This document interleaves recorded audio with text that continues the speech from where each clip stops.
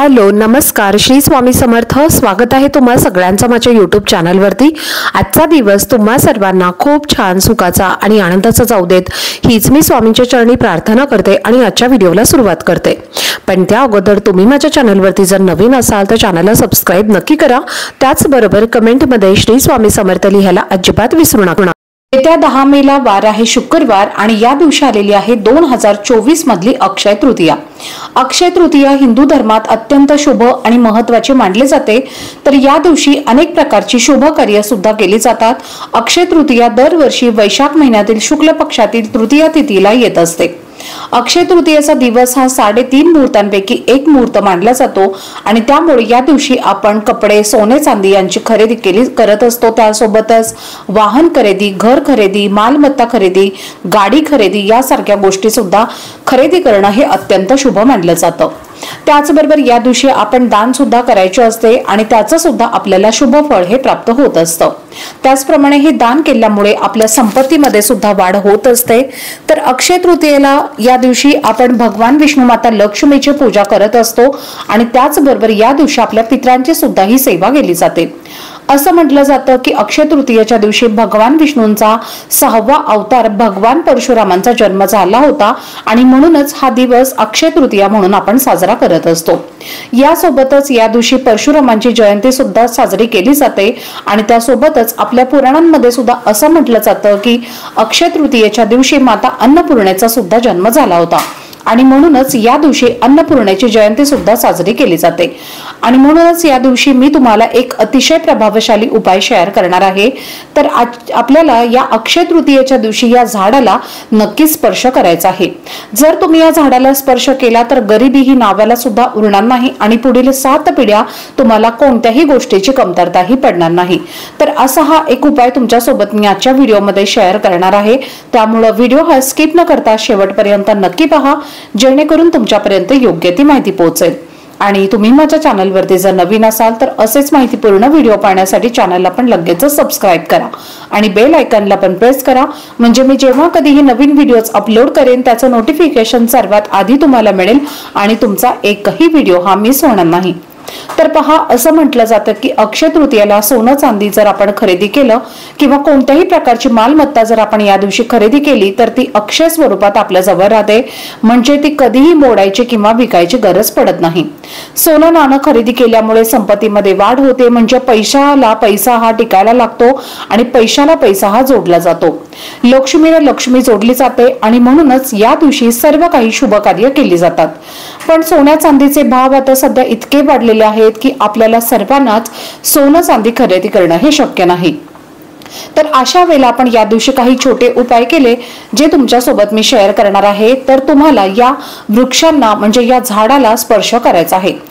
या झाडांना जर तुम्ही स्पर्श केला तर साक्षात माता लक्ष्मी भगवान विष्णू हे तुमच्यावरती प्रसन्न होतील आणि त्यासोबतच तुमचे पितृ सुद्धा तुम्हाला भरभरून आशीर्वाद देतील. आणि त्यामुळे तुमच्या आयुष्यात सुख शांती समृद्ध येईल. तर पहा पुराणात झाडांना अत्यंत महत्त्व आणि पवित्र आणि पूजनीय मानलं जातं. आणि त्यांचा संबंध सर्व देवी देवतांशी जोडण्यात येतो. आपल्या हिंदू धर्मात सर्व प्रकारची झाडं आणि वनस्पतीमध्ये देवी देवतांचे वास्तव्य असते आणि त्यांना पूजनीय सुद्धा म्हटलं जातं. तर त्यांच्या पूजेने आपल्या संबंधित देवी देवतांचा विशेष आशीर्वाद हा आपल्याला प्राप्त होत असतो. आणि त्यासोबतच ही झाडे आणि वनस्पती नवग्रहांशी सुद्धा संबंधित असतात. आणि म्हणूनच या दिवशी आपल्याला या वृक्षांची पूजा करून त्यांना स्पर्श केल्याने आपले सर्व दोष हे दूर होऊन आपल्याला त्याचं शुभ फळ हे मिळत असतं. तर आपल्या हिंदू धर्मात झाडे आणि वनस्पतींना देवासारखे पूजनीय मानलं जातं. आणि असं म्हटलं जातं की विविध प्रकारच्या वृक्षांमध्ये देवी देवतांचा वास असतो. आणि त्यांच्या पूजेने त्या व्यक्तीला दैवी कृपा प्राप्त होत असते आणि त्या व्यक्तीच्या सर्व इच्छा मनोकामना या सुद्धा पूर्ण होत असतात. ज्योतिष आणि धार्मिक दृष्टिकोनातून पूजनीय आणि उपयुक्त मान्य देणाऱ्या पवित्र झाडांमध्येच मी तुम्हाला आता माहिती सांगणार आहे. यामध्ये सगळ्यात महत्वाचं झाड म्हणजे तुळशीचं झाड. तर हे झाड आपल्या सर्वांच्याच घरामध्ये असते तुळशीच्या रूपाला अत्यंत पवित्र आणि पूजनीय मानलं जातं. त्याशिवाय भगवान विष्णूंची पूजा ही तुळशीशिवाय अपूर्ण मानली जाते आणि तुळशीला आपण विष्णुप्रिया असं सुद्धा म्हणत असतो. तुळशीमध्ये साक्षात माता लक्ष्मीचा वास असतो आणि म्हणूनच तुळशीला साक्षात माता लक्ष्मीचं प्रतीक हे मानलं जातं.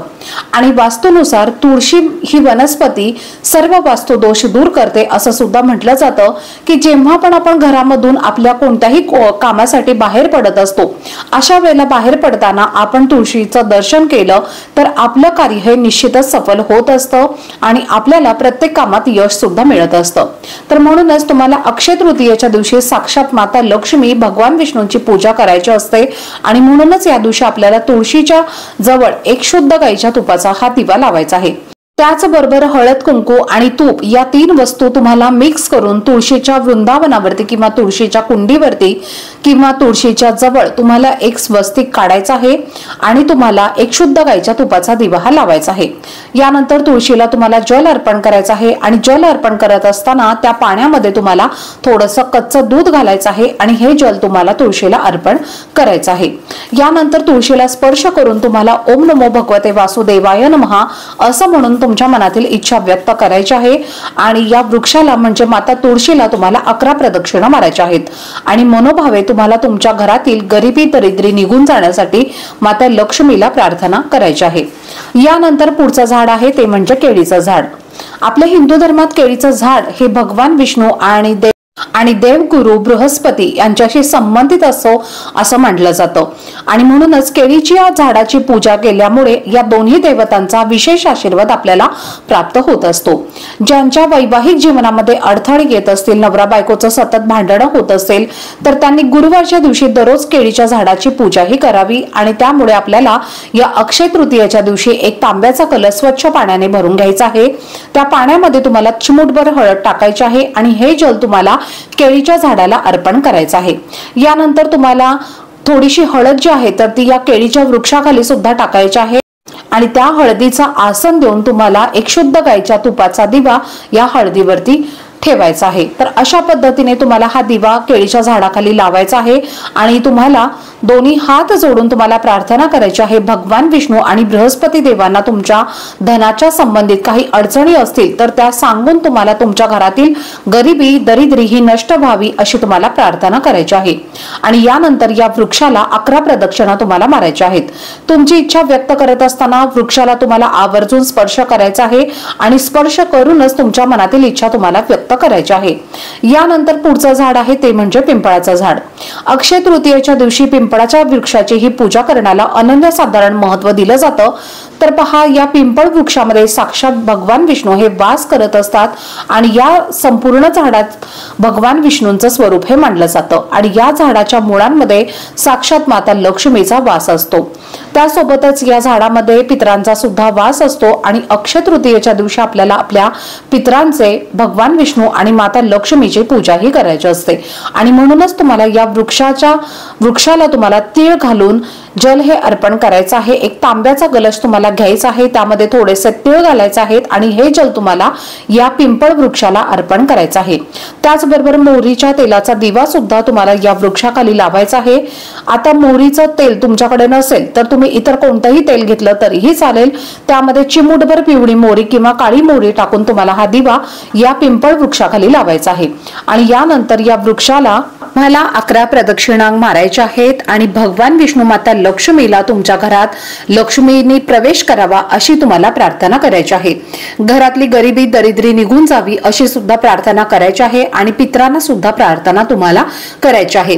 पित्रांना तुम्हाला सांगायचं आहे की आमचं काही जर चुकलं असेल तर आम्हाला माफ करा आणि तुमचे आशीर्वाद हे आमच्यावरती असू द्या अशी तुम्हाला पित्रांना सुद्धा प्रार्थना करायची आहे. आणि यानंतर तुम्हाला या वृक्षाला स्पर्श करून ओम नमो भगवते वासुदेवाय नमहा असं म्हणत तुमच्या मनातील इच्छा व्यक्त करायची आहे. यानंतर पुढचं झाड आहे ते म्हणजे कदंबाचं झाड. कदंब वृक्षाला आपल्या हिंदू धर्मामध्ये अत्यंत पवित्र आणि शुभ मानलं जातं.